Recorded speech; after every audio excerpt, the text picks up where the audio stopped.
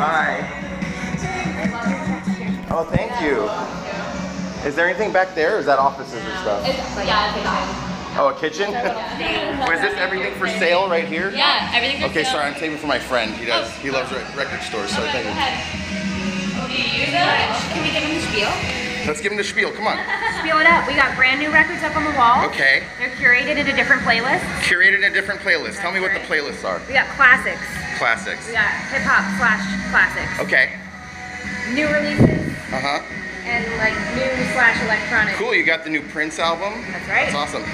Uh, no metal, right? I don't speak so soon. Okay. We have a listening station back here. A lot of the new stuff is spinning back here. Okay. The furthest album on the left, it's bright green. You can't miss it. Uh-huh. Code Orange. Oh, okay. The hardest thing we got in the store at the moment. That Herbie album's so good. That's one of my favorite records ever. Yeah, yeah, yeah, mine too. Cool. Yeah, it's on 180 gram. You just go to my. Let's get physical. Amazing. Here you go. Yeah. Who needs a boyfriend when you got a record? And we have, we have Okay, what's this? I'm just gonna start looking. What is this right here? vintage records Uh-huh. are split up into the bins. We go by a vibe system instead of genres. Vibe system. So like this is our dinner party section. Uh huh. We have a dance. How is Why is Wham a dinner party? I would go to that dinner party. I wouldn't. All right. well, No, I'm subjective. kidding. That's the beauty of it. You're right, yeah, So super- You never know what you're gonna find. We Okay. also have like. You know, this guy did the theme to a Family Guy. This guy. Are you kidding me? No, he That's didn't. amazing. Yeah.